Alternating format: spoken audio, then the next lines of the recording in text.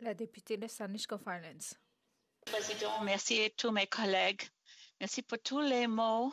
Rendre hommage à notre collègue, notre ami Jim Carr, particulièrement les mots du Premier ministre et le, député de Charleswood, St. James et Cityboyne, Headingley, la députée d'Avignon, la Métis, Matane, Matapédia et le député de South Okanagan, West Kootenay. Tout le monde, je pense, a partagé les mêmes émotions parce que nous avons perdu quelqu'un très proche, quelqu'un que tout le monde aime beaucoup. J'ai été honorée de le connaître pendant longtemps. Bon, j'aurais aimé être parmi vous en personne, mais nous nous sommes connus avec une organisation liée à la COP 15, en fait, euh, qui, est impliquée dans la COP 15. C'est une organisation basée à Winnipeg. Jim faisait partie du conseil d'administration. Je l'ai connu en 2000. Il est devenu le vice-président de cette agence de développement durable et j'ai vu son influence et son expérience en matière de développement durable au Parlement. Nous sommes devenus des amis avant d'être ici en tant que collègues à la Chambre.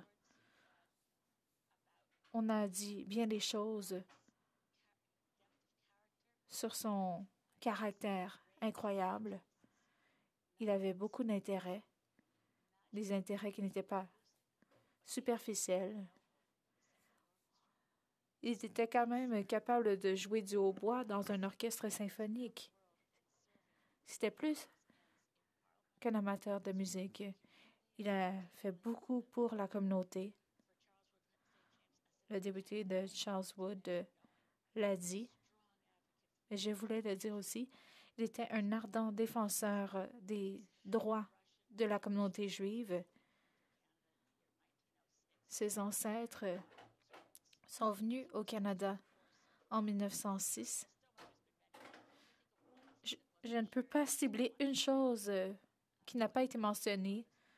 Je pourrais dire tellement de choses, mais Jim était vraiment drôle. Il avait un sens de l'humour exceptionnel.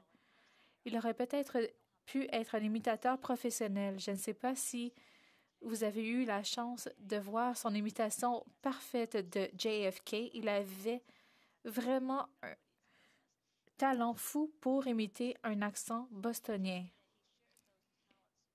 Il était très talentueux. Il transmettait ses talents à ses collègues. Richard Florence de l'Agence du développement durable a dit que Jim était quelqu'un de rare.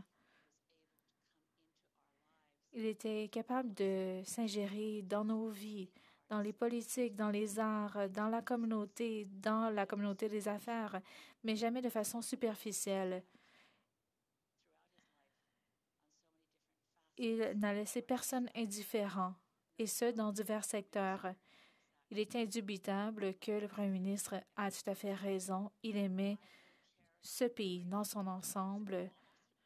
C'est presque impossible de croire qu'il y a sept jours seulement, je lui ai donné un câlin en chambre alors que son projet de loi a été adopté. C'était un honneur et je ne tiens pas cela pour acquis, mais c'est un, honneur qu'il me demande d'être sa commotionnaire. C'est euh, rare qu'on demande à quelqu'un d'un autre parti d'être son commotionnaire. Mais j'ai de très beaux souvenirs avec Jim. Et quand je lui ai donné un câlin, je n'aurais pas pu croire